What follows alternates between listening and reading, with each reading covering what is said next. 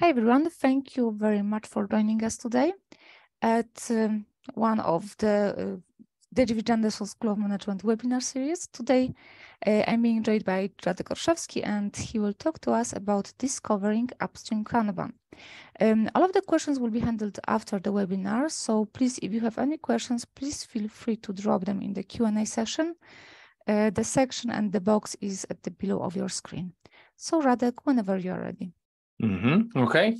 Uh, yeah, maybe just a, a, a, as a word of comments, uh, please uh, please put your questions when you have them because I guess we will see them as as the host and and uh, yes. panelists. So um, if there's going to be any question related to the content that you're going to see, maybe the terms that I'm going to speak about. Um, I know that we are not fully fully interactive in the uh, uh, like a webinar mode, uh, but I will try to answer or maybe refer to some of them on the fly. If the questions will be more complex or, or maybe more general, um, as Anna said, we will try to answer all of them or as many of, as possible of them uh, by the end of um, of our meeting today. Uh, so yeah, uh, hello everyone. depending on your yeah time zone or or time of the day, good morning or good afternoon or good evening. Uh, today, the topic of our meeting is uh, discovering the upstream Kanban. Um, I'm pretty sure that uh, you maybe heard this word, uh, definitely word heard Kanban. So we're going to talk about what is special about upstream. What is it, first of all, and what is special about it in terms of um, how to build it, in terms of um, how to work with it.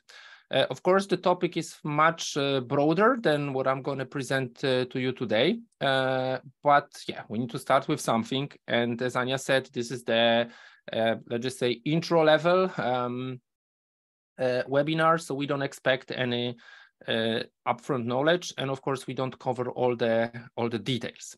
Okay, so let's let's roll. Um, the first thing is that, yeah, if we develop uh, products, if we build um, digital products or maybe hardware and, and, and digital um, uh, products, we very often have a lot of ideas. We have also ideas for building businesses, maybe for sales or uh, marketing um, uh, departments. It doesn't need to be just uh, building software.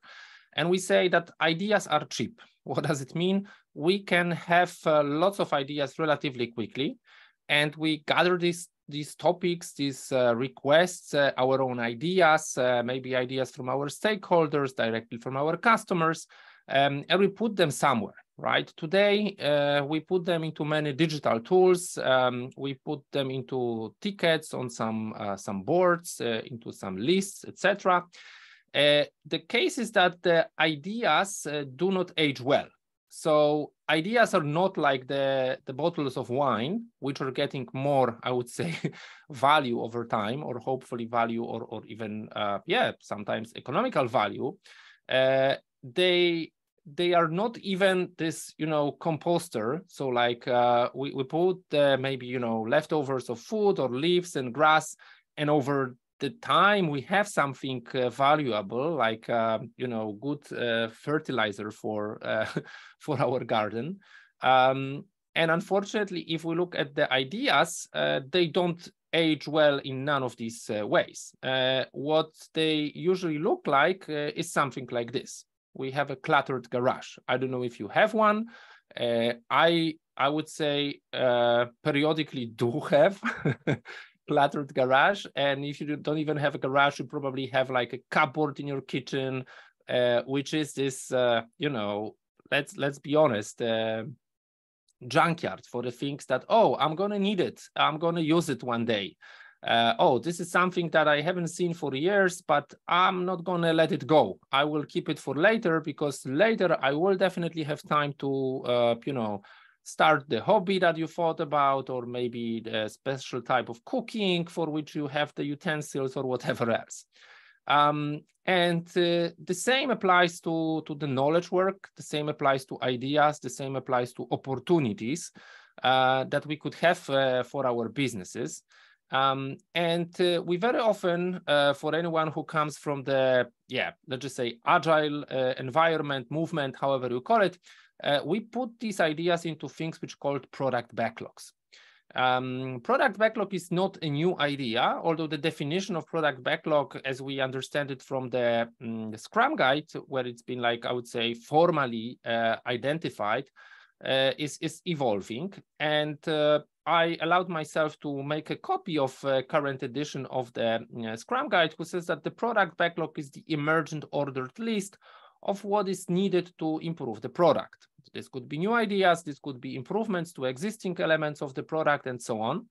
Um, and uh, I would say, yeah, in many organizations which are uh, working uh, in a smart, agile way, or organizations who only declare that they do it this way, uh, we very often see these backlogs. So like this is a very common, let's say, uh, word in vocabulary of many organizations. Now, the problem is that uh, the backlog, as it's, uh, I would say, maintained in many organizations, uh, is not as great idea as it may sound. And I want to be precise that uh, I'm not, um, not, not, I don't have intention to, to start a flame war against this definition. I just uh, highlight uh, some ideas which are definitely good and which are risky to, to manage in this definition. So the first word is emergent. We're gonna uh, talk about this word. What does it mean, emergent? If you are not a native English speaker, like I am, like I'm, I'm not, so I am, yeah, like uh, depending like how you see it. Um, it may you may imagine different things under word emergent so let's let's talk about it uh, the the second uh, is that um, the backlog should be i would say the subject of refining activities uh, which is also great we're going to talk about it um, more uh, risky thing is that the backlog should be ordered. And of course, when we say ordered, we uh, we understand that there should be some sequence of the um, actions or opportunities, uh, maybe tasks. Um, and uh, sometimes it's not easy uh, whoever was in a position of a product owner or a project uh, product manager, uh, maybe a scrum master or the agile coach or a project manager supporting uh, product people, uh, they know that uh, very often this is, let's just say, majority of their daily work to to order the mm, um, the backlog. So we're going to talk about it. What what does it mean? or what challenges are, are related to it. And then we have this word which I um, highlighted in red, which is a singular form of a word list. So lists are good. On the other hand, they can be intimidating, they can be overwhelming. Um, so, so sometimes we see problems with lists. And again, we're gonna elaborate uh, on it uh, in details in a moment. Um, and of course, uh, what is also uh, risky to say that everything what is in the product backlog is needed uh, because well maybe we needed this part of uh, you know um, i don't know kitchen tools or equipment some years ago uh, but is it really needed now? And i would say the same rules apply to the knowledge work the same rules apply to um, ideas. Uh, something that's been initially needed something that was really hot and wanted uh, doesn't need to be this way after uh, many months or even years. And we know from I would say, uh, yeah, let's just say uh, observations in many organizations that sometimes the items in the backlog are uh, extremely old. Um, okay, so let's move on. Let's uh, focus on these words. Uh, emergent. Emergent means that, uh, well, um, what is it? It's it's it's living being, right? So we know that uh, it's not like we have all the ideas initially there. And uh, if we compare the, the, the, view of the backlog in January and several weeks later, it may look differently. Some of the items will be already delivered. Some of the items will be reshuffled. Maybe new ideas will be added. And as you can see, the backlog on March is longer than it was on January. Uh, that's, I would say, the nature of our work. The second uh, word, ordered, uh, basically in, I would say instantly triggers a question order by what. So um, yeah, I'm I'm wondering what you what you have in your mind. Uh, what is the factor? What is the value that you would uh, order your ideas by? Uh, and I very often hear, of course, it should be ordered by value. Well, Um, I would challenge that saying that it's it's ordered by hypothetical value because as long as we don't deliver something, it's just our hypothesis. It's our assumption that uh, you know users, customers, stakeholders will love it, that it will convert, that it will bring more users or more money, uh, or more fame, or more of market share, or or, or whatever else. Uh, still, we could try to order the list by the hypothetical value. Uh, but sometimes we know that hypothetical value is not equal one-to-one -to, -one to urgency. So for example, we could have hypothetically valuable item, which is the blue one on the top, but unfortunately, in order to keep our operations, uh, we need to be compliant with some new regulatory uh, requirement.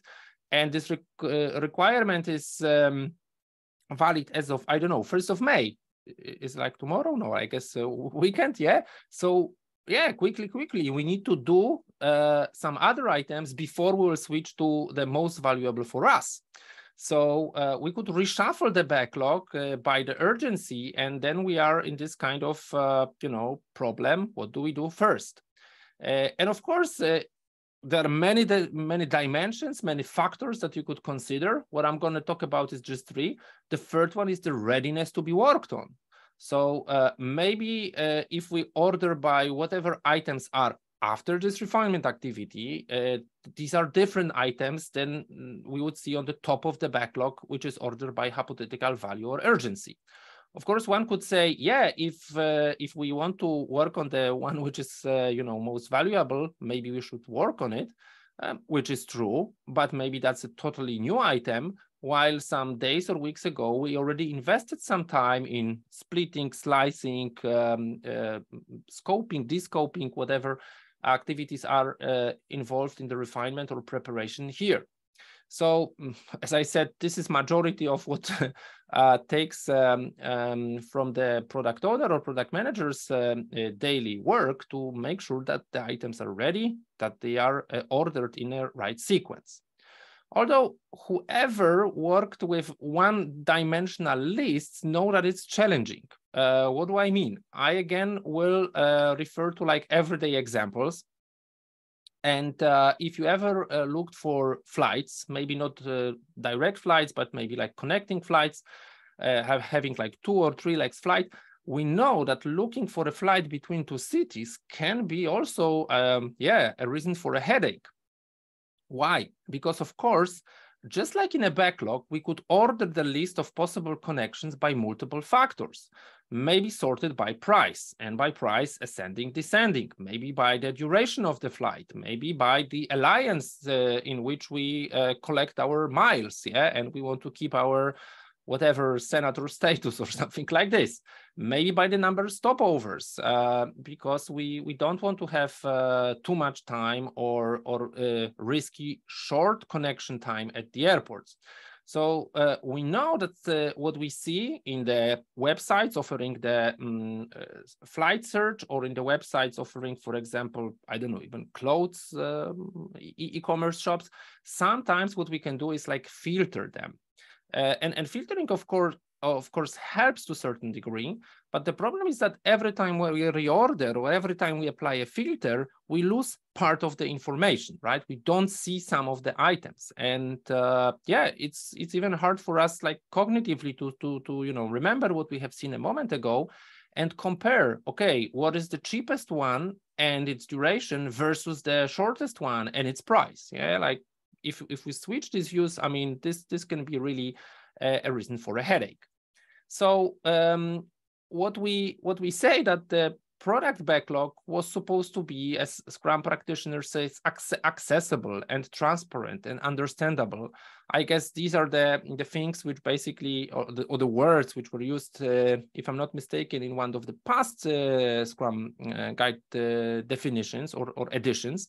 Uh, but uh, I allowed myself to create a meme for this opportunity. So you were supposed to bring the transparency, the, the your product backlog, yet you became one more cluttered garage. Yeah, so it's it's not a uh, it's not as easy to work with it as as as as we hope it's gonna uh, be. Okay, so uh, for last maybe 10 minutes or more, I've been talking about challenges of working with the product backlogs and lots of ideas. I hope that you have found some of these ideas resonating with your life or life of uh, professional life or challenges of your colleagues. So question is, okay, uh, so what could we do instead? And this is the moment where we enter the area of uh, upstream Kanban. Uh, so a solution uh, which could, uh, I would say, solve some of the problems that we have discussed uh, in in yeah past minutes. So uh, yeah, let's let's try to discover where these items, where these work items are coming from. So as we said, could be uh, stakeholders, could be the team, could be the product owner, him or herself, and so on. Uh, so questions like what is happening before something lands on our regular Kanban or on Scrum board, which is, uh, you know, um, starting with this next column, right? So we know that there is something on the uh, left-hand side, but we are wondering uh, where do they come from? Like what's what's what's to the left from the arrow that you see? So uh, yeah, who brings it? It could be product owner, it could be the customers directly. I mean, different setups, uh, this could mean different things. Again, we are not focusing on the um, software development only, uh, but on all type of knowledge work. So this could be, I don't know, legal services or maybe design or marketing or recruitment uh, team, uh, which is basically, uh, you know, fed by hiring managers inside the organization. Um, so this could be a product owner, this could be different sources. Uh, we would put the product backlog next to the board.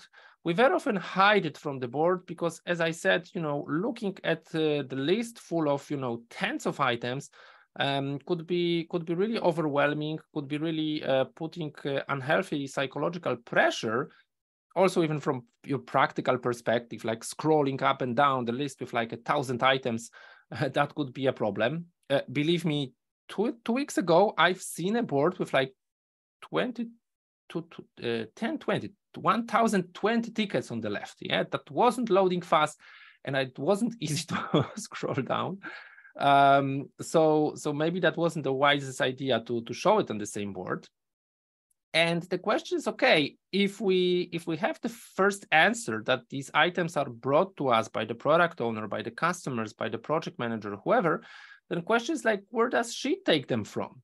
Yeah, because uh, it's it's rarely that one person is the source of all of these items. Um, and this is the first time that we show to you the concept, which is basically extending what we see usually on our operational, our delivery board to the left. And uh, in the Kanban, uh, let's just say uh, vocabulary or, or dictionary, we very often call this, this the, the board that we start with, downstream or delivery Kanban, while we say that on the left, there is maybe sometimes uh, should be something that we call either upstream or discovery Kanban. Uh, I entitled today the workshop Discovering the Upstream Kanban, which is of course some kind of uh, you know word game. Uh, you may find uh, different sources using two different names, uh, but what is really important here is that we would like to see, because if you probably know Kanban is about visualization or using visualization, um, what is going on between the options and the moment when we uh, decide to exercise them, exercise or realize, depending like uh, what kind of uh, language you use.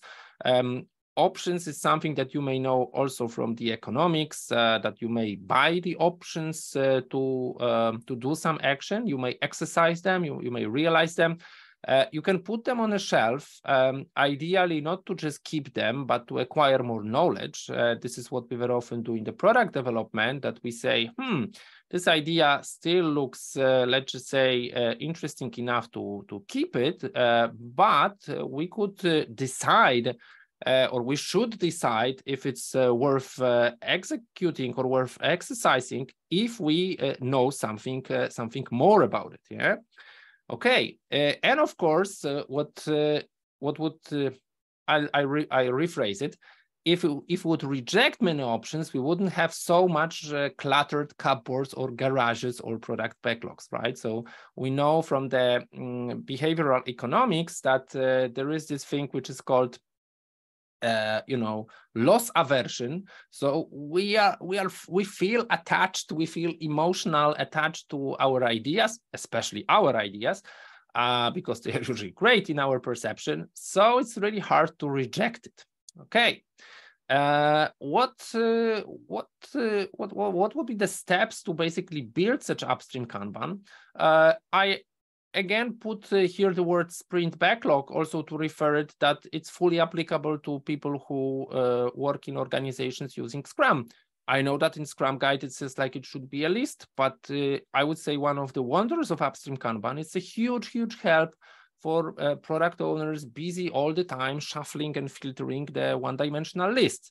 So if you work in Scrum, it could be a sprint backlog. If you work in any other way, it could be the, the list, a subset of next items to do. Um, and we say probably something what is on the left from next are items to work on. We usually have more items to work on than we decide to pull, then decide to, to start next. So maybe the, the, the li list on the left, I'm sorry, is a little bit longer. Uh, but we should ask a question, what happens before we have items ready to work on? Well, again, if you use the Scrum vocabulary, you could say refinement. Some people would say business analysis. Some people would say system analysis, maybe both. It doesn't really matter. This is just an example. Don't take it that, you know, these are precise steps. Um, because again, if we would refer to um, recruitment process, and honestly, I have like really great examples of applying upstream Kanban to recruitment um, teams on in, in recruitment teams um, we could say, oh, this is a screening of the company, uh, of, of the candidates, yeah, or something like this. Um, so, okay, what happens before it's refined? Oh, maybe we uh, receive a big uh, requirement that we slice, uh, which is too big because we say it's it wouldn't be agile, it wouldn't be safe, it wouldn't be even feasible to work on this big item. So maybe we will take some be something bigger and, and slice it into smaller items okay where do the big items are coming from? Yeah. Oh maybe we have i don't know SAFe PI planning. So every three months we we do a, a big replenishment a big planning. Maybe we have uh, a roadmap and maybe we have okrs and these are the you know next quarter goals or or, or something like this. Yeah. So we could say uh, depending of uh, depending on what you have as a way of working again it's very i would say universal very flexible uh, you may find, uh, yeah, or you may discover uh, pretty much uh, interesting uh, things happening here.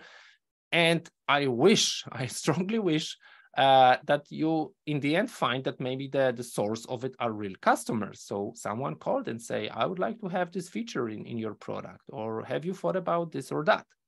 Uh, but we know that sometimes it changes. Sometimes it's, um, again, uh, regulators, uh, different regulatory bodies, especially if you work in, I don't know, financial sector or insurance or telco, pharma, you, you have some uh, regulations that you need to be uh, compliant with.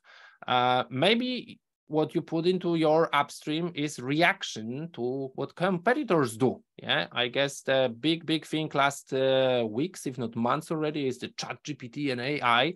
And I'm pretty sure that on roadmaps or backlogs of multiple products, maybe even the one that you work with, uh, or work on, um, you you say, oh, they they already announced that they do the AI integration, so must we do? Okay, uh, and of course sometimes it's the sales or key account people um, because you have i don't know b2b um, relation to your customer uh, or whatever else is here right we say it, it should first of all reflect your specific context uh, so it, it shouldn't be thought like okay there are like five steps because Radek showed five steps. No, it, it, it should be basically discovering, that's why we entitled this, this webinar today this way, where is the work coming from? Okay, so what is next? We say we understand a little bit better uh, where is the work coming from? We call it uh, like your sources of demand, so uh, whatever it would be. Um, and uh, now the question is like, like how to build uh, or start building it. So again, in every work uh, system, every Kanban system for sure, we uh, identify something what we call the point of commitment. I know that the word of word commitment has different meaning again for non-native English speakers or yeah, people who read Scrum guide 10 years ago and now the, the word commitment may mean different things. Um, but we say in Kanban that whatever goes through the point of commitment is something that now we want to focus on, right? Um, and uh, because of that, we say that uh, usually a good uh, border uh, between the upstream and downstream Kanban is this point of commitment. This point of commitment, uh, which says, yes, we have multiple sources. Yes, we have uh, some big cadence, some big um, maybe frequency, longer frequency that we, we plan our work um, that we then slice it, refine it, uh, prepare for work. Uh, but here, uh, neck or like below this this orange arrow, this is the moment when we say now. Now is the time to implement it. Now is the time to start the delivery of it.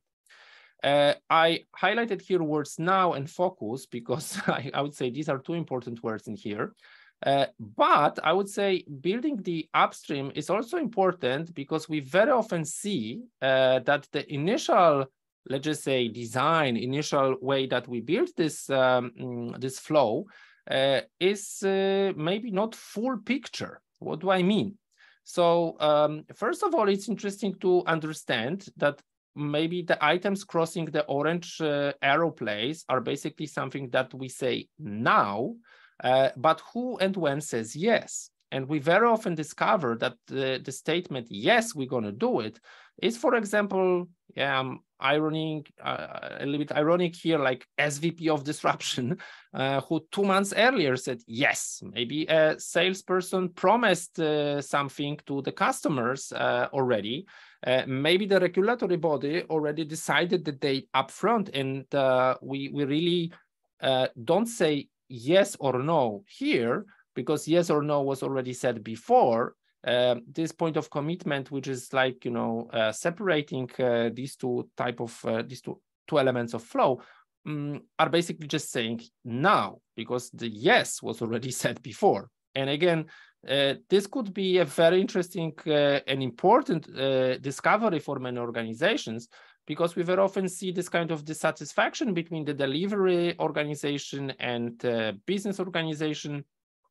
If you if you use this kind of separation uh, why? Because well the delivery teams have a feeling like we said yes to it maybe two weeks ago uh, and we deliver it with a relatively good uh, delivery time or lead time uh, while the customer or upper management are unhappy and why? Because they already started counting the time from the moment that they said yes, or they were told to do it by the regulatory body. So it's uh, it's also helpful uh, because I guess then we have then we could have like a meaningful conversation. Uh, is it is it good setup that we say yes here and now later? Um, as I said, sometimes it's not a full picture because we say, oh, yeah, but what we have uh, identified and what we have visualized so far is only the new requirements.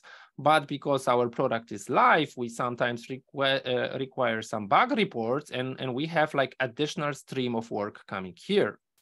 Uh, again, sometimes, and again, we don't judge it, we just observe it. Uh, there is like, you know, helicopter running above the, the whole system with the CEO on board who, who drops some, uh, yeah, really disruptive work and, and basically tries to cut the queue, cut the line and, and enter the system uh, from, you know, some kind of side. Uh, sometimes it's justified, sometimes it's a big business opportunity, but sometimes these kind of interruptions are basically very, yeah, uh, disruptive to, to predictability of, of the business. So we should be really um, aware, uh, I mean, again, start with visualizing this, that there is actually something more than we uh, imagined, I would say, uh, initially in the first exercise, first approach uh, to, to map our um, upstream work. Um, okay, so now I would like to uh, move to the third part of our uh, meeting today, which is how to work with the upstream. Uh, because I, I, I hope that by now you understand that upstream is pretty much everything um, uh, everything what is uh, to the left from your execution, delivery, operational board. and uh, you should basically do the discovery phase for yourself yeah so uh, that that should be something that that we understand yeah that we build with our businesses with our teams we we don't copy the solution just like we shouldn't copy the downstream boards i see one question um, that uh, yeah does it uh, have to be two different boards well that's a very good question before we move forward um, I would say it really depends on what do you start with. I'm a huge fan of first of all having this workflow end to end uh, in the same tracking tool, in the same project inside the tracking tool, and so on. I will explain in a moment why. Uh, the, the first reason is like understanding like what is the age and what is the speed of the items across the board although I understand that sometimes we say, yeah, looking at such a wide board would be uh, really not uh, not really easy. So I would say what is important that it's one workflow. If we have two different boards or maybe even three three boards, uh, yeah, maybe one combining, one um, one um, uh, yeah uh, co combining both one for the upstream one for the downstream that different groups mostly look at different boards. That's that's i would say the uh yeah uh, this is the work in the trenches like how how we sort it out.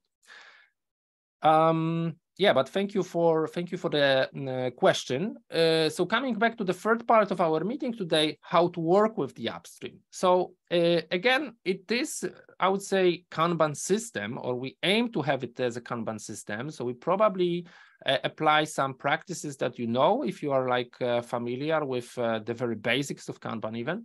Um, but there are some twists and turns which are, I would say, more specific for for upstream Kanban. So first of all, uh, two phases of the WIP limits, work in progress limits, right? We say that we uh, accomplish focus by uh, applying work in progress uh, limits on the fact that we don't want to start too many things at the same, same time.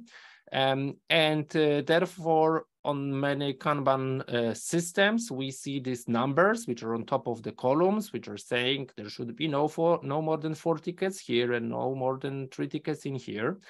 And now if we uh, build, I would say, the upstream um, board or the funnel, which is like leading uh, to, um, to the downstream board, we very often see two different type of WIP limits here. Uh, the maximum WIP limits, which are here visualized with the red numbers, and also the minimum WIP limits, uh, which are visualized with the green numbers. So um, what is new and, and why would uh, we use the minimum WIP limits here? Um, I would say uh, it warns us uh, that, for example, there is a missing uh, missing work. Uh, I see uh, someone just posted a question saying, "I'm a Scrum Master." So let's refer to Scrum reality. Uh, if you are about to start a new sprint and this sprint will be visualized on the downstream board, and you are missing, you have very low number of items that went through the refinement, this is a warning, right? Our future sprint, our future period of work, or the work on the items uh, that we see uh, to the left from the board, even if you don't have sprints, may be risky because we haven't discussed it. We haven't, um, you know, um, yeah, uh, discussed, sliced, uh, forecasted if you need the items, categorized them, and so on. Uh, so we have this situation that the the, the number uh, in green uh, like you know going below the number in green uh, basically sends us some kind of um, some kind of message that hey we may soon be lacking the the good quality and needed job. Um, what is also related to it is that uh, we may observe problems with sustainable pace of work of this whole organization, not only upstream or downstream, because they should be playing to the same uh, goal, uh, but basically, if we see that, for example, the work on the upstream is relatively slow, it takes weeks to deliver something, to go from the option or idea or a customer request before it's really refined, defined to, to work on it. Um, and what is even worse, we see that this work is is is move moving by uh, through this board in big packages so we could imagine that there are like 10 tickets here, moving completely 10 tickets here, and so on. Um, while our delivery team is a super fast jet fighter, right? I, I put like a container ship here and a fighter here. Uh, so we know that our de delivery team is actually capable of delivering a single item relatively quick. Then we have a problem. Um, I mean, we can, yeah, we could discuss like what kind of problems we could have in here, uh, but definitely it is uh, dangerous. And um, very often people see that, okay, so we extend the board from left to, to right, that it's really wide, and they are afraid that, oh, it means like we go to the waterfall times. Well, um, I would say, please bear in mind that the, the fact that, that the items are moving linearly through the upstream and downstream board doesn't need to mean that it's waterfallish what would be the, I would say, a sign of water in the waterfallish is, is working in big batches. So the fact that I described a moment ago, that we don't see single items moving through the boards, but we see big packages of items, yeah, uh, moving from uh, from one to the left uh, before, um, uh, yeah, maybe all of them need to be analyzed before they move to refinement. All of them need to be refined, and so on, yeah. Uh, and of course, uh, again, we should uh, observe, as you probably know, Kanban is very much in love with data. So we should also observe the speed of moving uh, and the pack, the size of the packages, uh, the mm, time that it goes to go across the board. Uh, because yeah, if we have this, I would say mismatch between the speeds, yeah, when the delivery teams have nothing to work on, we very often um, see that they are given low quality, uh, not really needed, uh, not uh, cheaply verified ideas to work on just to keep them busy, yeah, which is uh, which is dangerous, which is wasteful, um, which is economically not uh, not correct. Um, okay, what's uh, yeah, what should be what what we should have our radar on is like, do we see the big batches moving? Because this is the size of this is the sign of um, let's just say um, yeah, um, waterfall approach. I see now uh, a big avalanche of uh, questions. We'll try to answer them um, a little bit later. Um, so yeah, what are other techniques? I mean, first of all, just like for the downstream uh, board, it would be good to identify and introduce as active and passive steps, columns, or statuses, as you, as, uh, uh, however you call it, on the upstream uh, I allowed myself to, to visualize the active with green and uh, the passive with yellow. Why? Because we know that the people who are working on the upstream do not work continuously end to end on the item from left to right. Um, product owner, product managers, analysts, they usually work on the item, then put it on a, yeah, some kind of uh, waiting status uh, before either themselves come back to it later or maybe another person will be involved. And uh, visualizing this way can also give us the feeling not only feeling but also the data um yeah how much actually is taking the active work on the items versus the the waiting time between uh you know one person and receiving a feedback from another one or handing over to another person and so on um, I put some dots in here on these uh, boards, uh, on, on these tickets. Uh, as you know, some of the tools are using the dots to show the aging of the ticket. So again, if we put them into the yellow uh, passive column and we see that this item has no dots, then we know that it's relatively fresh in here. It's relatively new. While some other of the tasks are actually spent already, you know, multiple days, if not weeks in here. So uh, visualizing this uh, not only with active but also passive statuses can show us either the flow or a lack of flow of the items. Um, additionally, uh, I, as I said, well, the traditionally perceived product backlog is something that we see as one-dimensional list.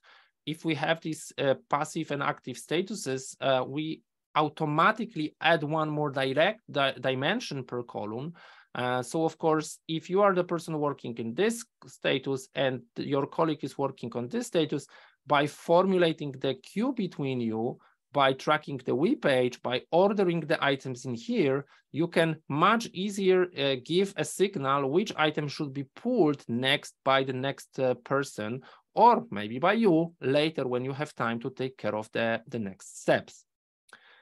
Um, yeah, very often we see that some items are like you know flowing around the items which are like aging. Uh, we, we started our our webinar today with with talking about aging so we don't want to go this way.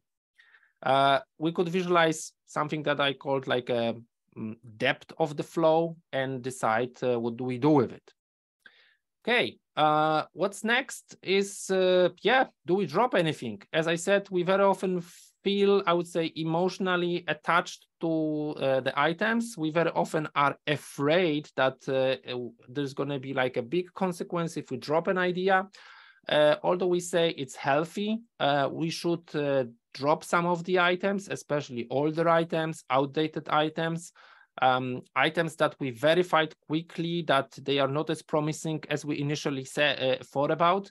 And how we call it in the Kanban world is a discard rate. So we should uh, either track the number of items that we drop in a period of time or the ratio, like what, what's the percentage of the items that uh, do not go uh, across the full upstream because they are discarded. Um, yeah, I would say if we don't drop enough or, or, if we don't drop at all, there are, like I would say, at least two uh, possible reasons. We either have only good ideas, and I don't know any company who has only good ideas, um, or maybe uh, we don't uh, validate them there uh, cheap enough and we let them go through the upstream uh, to the downstream. And we know that this is really expensive part. And only after investing the expensive um, downstream effort, we discover that, hey, this is something that is uh, really, uh, yeah, could be, I would say, validated upfront. Um, yeah, and and and see see it earlier uh, without investing so much time and, and, and money.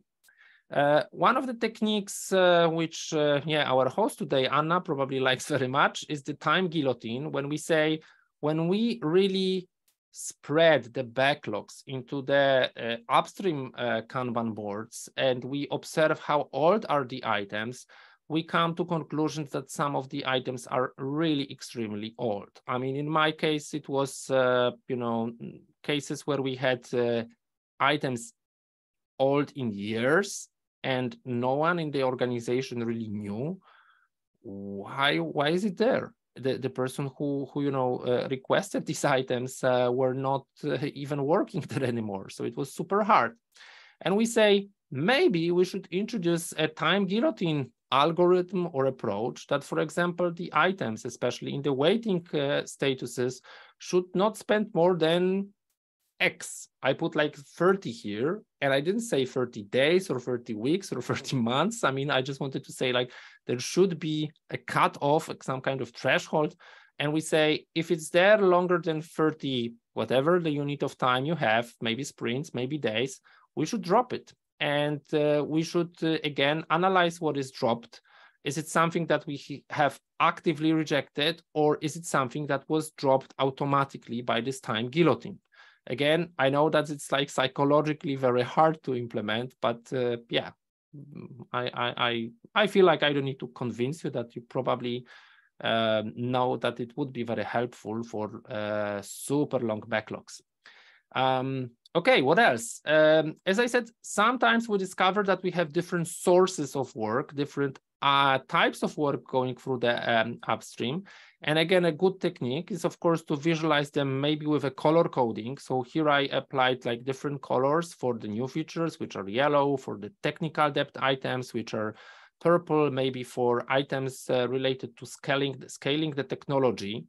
Um, and I see one of the questions in the chat about uh, visualizing spikes. If you have a, a, flow of spikes, so some kind of uh, initiatives where you work before you commit to it because you do the proof, proof of concept or you want to understand, is it something that, uh, that you know, we just want to give a certain time box and after the time box decide, is, does it go further or not? I would say that's a, that's a good uh, opportunity to visualize it as well and uh, yeah, I would say you could put the spikes on the downstream. I would also see the space for the um, mm, for, for the spikes on the upstream side.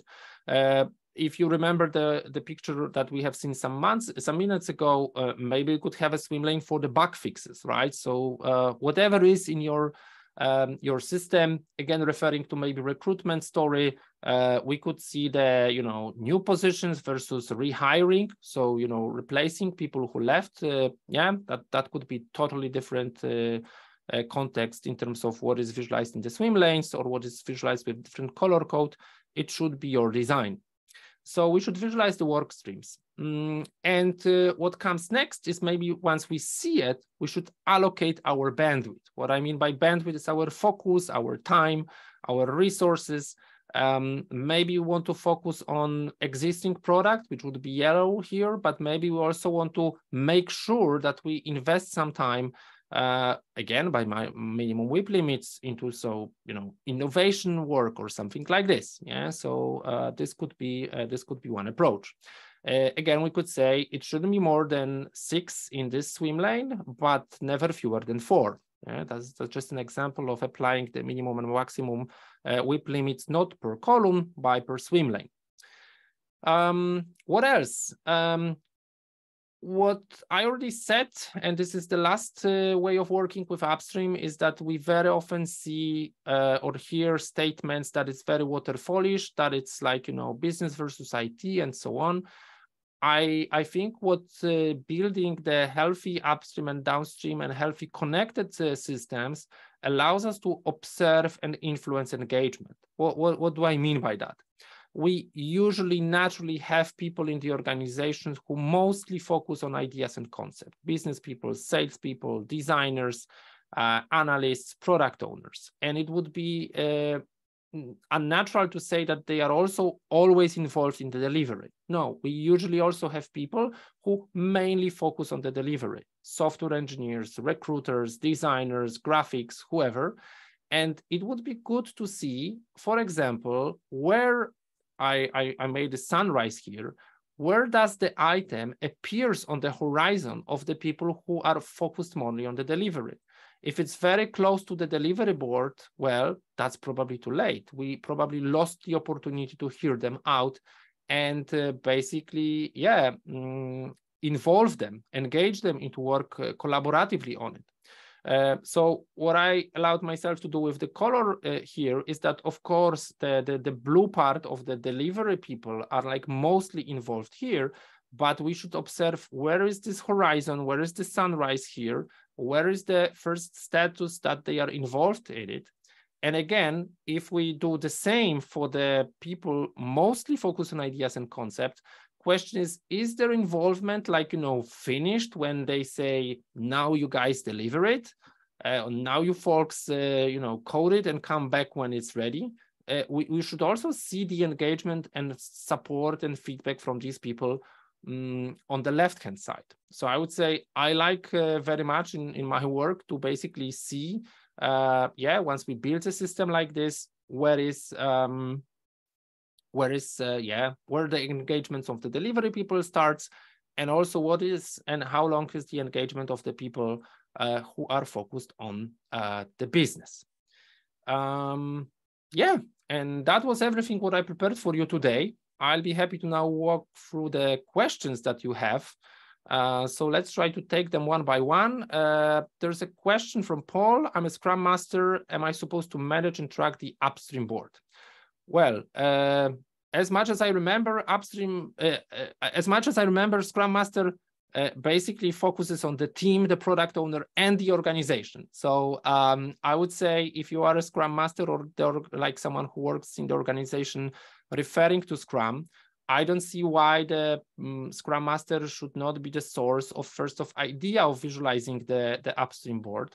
Uh, definitely, if you have someone in the role of a product owner or a product manager or someone like this, I see again such person as this yellow shirt person here who mostly focuses on the ideas. You as a Scrum Master could, uh, I would say, uh, support such person, uh, but I, I don't see you as a Scrum Master actively moving tickets there. Yeah, but of course, um, yeah, that's that's uh, yeah maybe also case case by case. Um, okay, another question from uh, Javor about the spikes. Uh, is work on spikes considered part of the upstream? I think I partially already answered it that, uh, yeah, if the spikes are understood, understood as something that we don't commit to delivery, but maybe that's like, you know, prototyping, proof of concept, uh, time box investigation, I would definitely see uh, this on the upstream. Um, if you if you don't have it yet, maybe you should visualize it. Um, yeah, um, again, uh, it, it can be really that, uh, yeah, mm, we, we, we, we can track it here, we can track it on, on both boards, uh, but I would say, first of all, it, there should be agreement in the organization. Where do you do it? Yeah. So, um, yeah, I, I think that that's as much as I can answer uh, now. Um, okay, what else is next? Uh, who makes a decision about the WIP limits for the upstream, the team members from the downstream? Uh, again, probably upstream is mostly the territory of the product uh, business people. Uh, but again, if we see a mismatch between the, the WIP limits here and WIP limits uh, here, I'm now referring with the mouse cursor to the upstream and downstream, uh, we will see probably some problems, right? Because again, if if uh, you will work uh, as uh, people involved on the upstream or focus on the upstream on too many items at the same time, if you will move the items in big batches, as I described, then you probably will create a huge queue be before the, the downstream board, right? And again, you would like to see the sustainable way, uh, I would say um, something that it's, that is balanced, yeah? Um, okay, there's one more question from Rosario, very interesting. What is your advice about the practice uh, upstream with fast changes? Um, I know cases where, for example, uh, statuses on the upstream are the statuses showing some really quick and dirty prototyping, and uh, and and the work on the upstream is very turbulent. I don't know if that's the same what you meant by by fast changes, but we very often say it is cheaper and healthier to introduce in, involve also some people who can you know do the uh, the, the low code, no code prototype or uh, or whatever else, as long as it's still on the upstream before we accept it to downstream. Yeah, some some more questions. Uh, yeah, question assumes that it's high likely the same delivery team to work on these uh, spikes in Scrum World. They they like to track on the same board. Yeah, uh, well, I would say again, you may have the same people involved, or or you probably you would aim for having both uh, people, uh, both boards uh, visualizing work where the same people are involved. So if you if you imagine a situation that you know the engineering recognition or or spikes are done by totally different team or people on the upstream than then downstream, then you probably have like a big knowledge loss, right? Because one people uh, one person or some people do it on the upstream and then they basically throw the hot potato over the point of commitment to the delivery. I, I don't think that it's uh, um, yeah good good solution. Mm, okay, question from Stuart. Refinement being uh, upstream will obviously take time away from work already committed. Uh, what level of detail do you suggest? Uh -huh, to get the right balance. Um, oh my. That's a very good question. I mean, first of all, uh, I would connect it also to, I guess, the first question that we had tonight, uh, if we should have one board. Uh, first of all, we start very often from the situation where the downstream team doesn't have a way to show that they are involved on this refinement work. And, uh, and therefore, I would say extending the board using the same avatars, showing that, you know, the people from this team are involved in here is a good starter. This uh, could lead to maybe a conclusion that could be behind your, your question, Stuart, like that there is imbalance, that it's like taking too much time. And of course, uh, then you need to sort it out. I'm, I'm not going to give like a silver bullet uh, answer, um, but uh, yeah, I, I think it could trigger the right conversation. Is it okay? Is it healthy? Is it helping to deliver later faster or, or smoother if we have the people involved in the upstream. Are there different work items in the upstream compared to downstream? Uh, for example, story or epic, how do you visualize when they change type and split? Uh, yeah, good question. Uh, I would say we usually see that the items are becoming smaller and smaller, moving across the board. So if you remember one of the one of the pictures I've shown, we could see as a part of activity on the upstream, for example, slicing, dicing the big items. And uh, maybe that's uh, if you use epics, including stories. So writing stories, creating stories for the epic could happen on the um, upstream uh, side. And then we know that mostly the teams on the downstream or delivery would focus on delivering like stories, which in the end uh, build up to epics. Um, maybe that's a topic for a separate webinar because I guess in this case we should have different levels of Kanban boards. So maybe we could have a board where we see the epics which are in preparation or epics which are in progress, and then uh, only the delivery teams takes care of the stories tasks or whatever is in the epics uh, because that's maybe not as much important uh, for i don't know product people because they trust that the product that the delivery team work um, you know self-organizing around the work. Um, okay there's more and more questions. I wonder what the ratio between downstream and upstream might be effective. Switching between both to some extent means switching the context. Uh-huh uh, when it's the same team working on upstream, downstream, does it make sense to limit the combined WIP limit of upstream and downstream? I like the, the last sentence very much. Uh, it, it shouldn't be that, you know, we have like a person has two items active here and one item active here. No, I mean, uh, this is again, uh, I would say, fooling either ourselves or pretending multi uh, multitasking. Um, so again, uh, the, first of all, upstream and downstream should reflect reality. If we see that we are unhappy with the reality, we should do something about it. Um, yeah, what if the upstream team works with Kanban and developers with Scrum? I see it fully compatible. I don't see why we couldn't uh, visualize uh, the refinement and uh, product backlog with upstream and still have the replenishment or the sprint planning, if you like, between these two boards happening regularly. Um, oh, I feel this is more advanced question. Would the service request manager, which is emerging role in Kanban, um, service request manager focus on the upstream and flow leader or service delivery manager would focus on the downstream? I would say if we have tests, this question is passed. So whoever wrote it, I would say that was that was the, the natural choice. Um, does it make sense to have multiple discovery streams uh, by work type, uh, discovery versus technical and prototyping? Uh, mm, well, you probably probably the author of it has some you know full definitions of it. I would say if we have business discovery, if we have technical discovery and prototyping, they could be statuses on the upstream. They could be swim lanes on the upstream. Yeah, so so it really me depends on what what is understood by by these items you know, or these terms.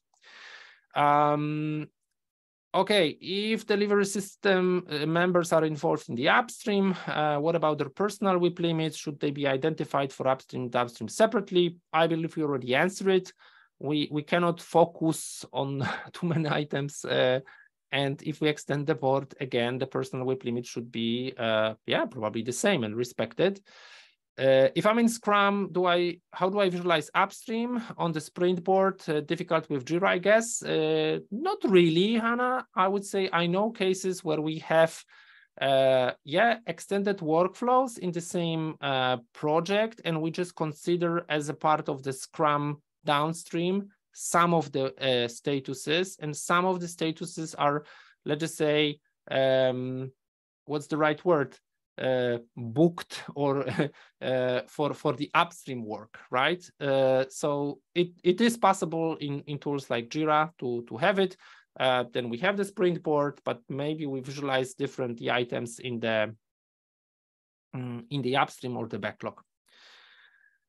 Okay, um, how does Kanban compare to SAFe flow? Oh, um, I, I think I mentioned that that if you work in SAFe, if you have like a big quarterly uh, or five sprints planning, like PI planning, maybe that's something that you would visualize to uh, on on the upstream. and still have the uh, regular sprints if you have sprints because in SAFe you also have like kanban teams or work teams without fixed cadences um, on the downstream um, is there is in the general part of the system stable enough in order to be useful tracking metrics? Um, yeah i mean uh, again i would start with the discovery work. I would start with putting the items into the right uh, columns. If we see the good flow if we see the depth of the flow um, then we of course can do something about it. Um, i will also refer to one of the pictures that i have shown before that um, if you see that the speed on the upstream and downstream are so significantly different, uh, then it is probably a kind of uh, warning, right? That uh, it's very slow in here and very fast in here. Um, and uh, that's probably something that you would like to, yeah, talk about between, you know, people responsible, focused on uh, both sides. Okay, that was the last questions. Almost on time, almost in one hour. We are just in time, Anya. yes, we are. Thank you very much, Radek. You were very, very efficient in answering these questions. Probably yeah. to, for me, it would take one hour or more. So thank you very much. uh, thanks to all attendees who decided to spend time with us uh, today evening or day, again, wherever you are. And thanks for all of these questions. I also learned some new things from uh, all of you, from the questions and from the answers. So yeah. thanks a lot for that. Uh, recording will be available for you in a few days. And if you still have any questions, please drop them at info at djaa.com. Thank you very much, Radek, one more time, and see you soon at another webinar. Yeah, my pleasure. Thank you very much. Bye-bye. Bye.